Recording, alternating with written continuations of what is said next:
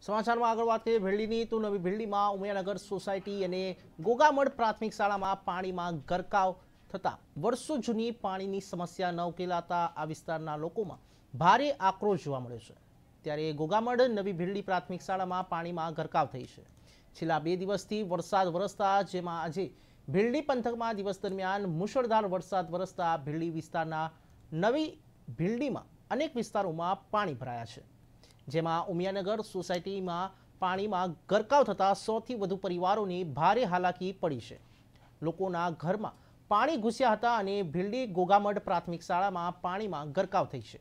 શાળાના રૂમોમાં પાણી ઘૂસ્યા છે ત્યારે શાળાએ જવાના રસ્તાઓ બંધ થઈ ગયા છે, જેમાં એકથી પાંચ ધોરણના ત્રણસો વિદ્યાર્થીઓને રજા જાહેર કરવાની ફરજ પડી છે.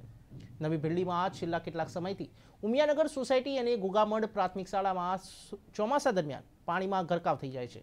જેને લઈને આ વિસ્તારમાં રહેવાસીઓમાં ભારે રોષ જોવા મળી રહ્યો છે.